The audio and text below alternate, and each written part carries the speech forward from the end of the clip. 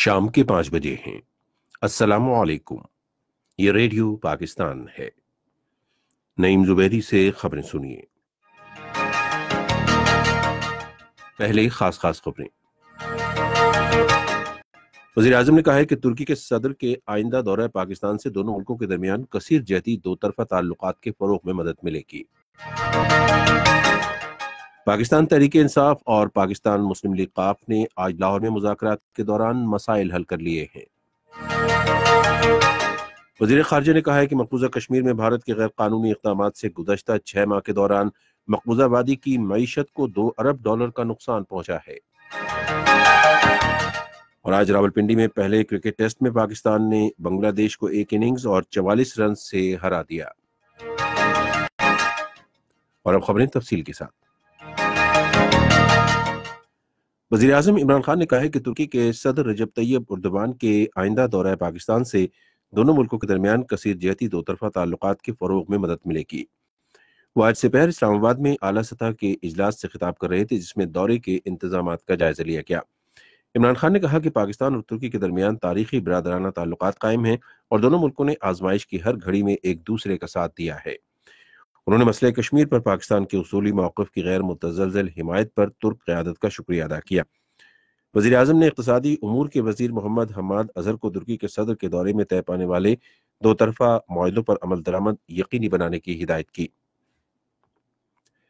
وزیر دفاع پرویز خٹک نے کہا ہے کہ پاکستان تحریک انصاف اور پاکستان مسلم لیگ قاف کے درمیان اتحاد جاری رہے گا کیونکہ تمام مسائل خوش اسلوبی سے حل کر لیے گئے ہیں۔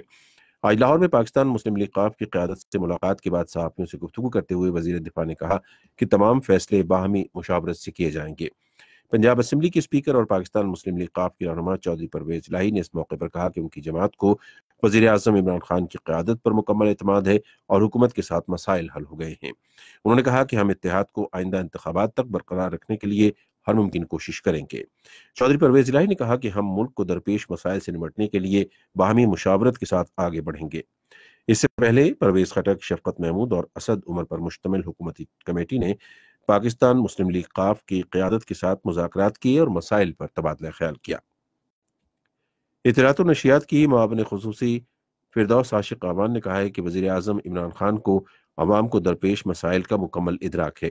آج مختلف ٹویٹس میں انہوں نے کہا کہ وزیر اعظم عوام کو ریلیف دینے کے لیے کسی بھی حد تک جائیں گے۔ انہوں نے کہا کہ قومی ادارے ملک کی طاقت ہیں اور وزیر اعظم عمران خان قوم کے نمائندہ ہیں۔ فردوس عاشق عوام نے کہا کہ عوام اس حقیقت سے بخوبی آگاہ ہے کہ اس اختلاف کا بابیلا ان کو ریلیف کی فراہمی کے لیے نہیں بلکہ اپنے ذاتی مفاد کے لیے ہے۔ انہوں نے کہا کہ گزشتہ حکومتوں کی ناقص پالیسیوں کا خمیازہ پوری قوم بھگت رہی ہے اور جن لوگوں نے ملک کو مقروض کیا وہ اب خود کو عوام کا ہمدرد ثابت کرنے کی کوشش کر رہے ہیں۔ وزیر خارجہ شاہ محمود قریشی نے کہا ہے کہ بھارتی حکومت کی جانب سے گزشتہ سال پانچ اگست کو کیے گئے یک طرفہ اقدامات مسئلہ کشمیر کے بارے میں اقوام متحدہ کی قراردادوں کی واضح خلاف ورزی ہے۔ انہوں نے یہ بات آج کراچی میں ایوان ہائے صنعت و تجارت کے وفاق کی ایک تقریب سے خطاب کرتے ہوئے کہی۔ وزیر خارجہ نے کہا کہ مقبوضہ کشمیر میں غیر قانونی بھارتی اقدامات سے مقبوضہ وادی کی معاشی حالت بھی تباہ کر دی ہے۔ وادی میں معیشت کو دو ارب ڈالر کا نقصان ہوا ہے اور چار لاکھ افراد بے روزگار ہوئے ہیں۔ انہوں نے کہا کہ مقبوضہ کشمیر میں جو کچھ ہو رہا ہے، عالمی برادری اس سے بخوبی آگاہ ہے۔ صحت کے معاون خصوصی ڈاکٹر ظفر مرزا نے کہا ہے کہ پاکستان کرونا وائرس سے مقابلے کے لیے چین کے ساتھ کڑا ہے۔ پاکستان میں چین کے سفیر یاؤ جنگ سے آج اسلام آباد میں گفتگو کے دوران انہوں نے یہ بات کہی۔ معاون خصوصی نے کہا کہ چین میں پاکستانی طلبہ ہمارے بچے ہیں۔ اور ہم ان کے تحفظ کے لیے ہر ممکن قدم اٹھائیں گے۔ چینی سفیر یاؤ جنگ نے کہا کہ پاکستانی حکومت کو اس وائرس کے متعلق تمام ممکنہ معلومات فراہم کی جائیں گی۔ افغانستان کے صوبوں، بلخ اور مشرقی خوست میں آج مختلف کارروائیوں کے دوران پینتیس عسکریت پسندوں کو ہلاک اور چار کو گرفتار کر لیا گیا۔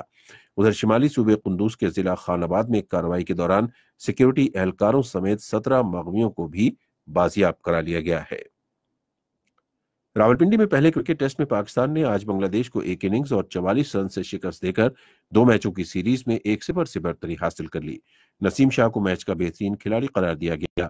انہوں نے دوسری اننگز میں چار وکٹیں حاصل کی سکور یہ رہا، بنگلہ دیش دو سو تینتیس اور ایک سو اڑسٹھ رنز، پاکستان چار سو پینتالیس رنز۔ دوسرا ٹیسٹ پانچ اپریل سے کراچی میں کھیلا جائے گا۔ اسی کے ساتھ خبریں ختم ہوئی مزید خبروں اور تجزیوں کے لیے ہماری ویب سائٹ ہے radio dot G O V dot P K اور فیس بک کے link radio Pakistan news official پر براہ راست ویڈیو سٹریمنگ بھی ملاحظہ کیجیے۔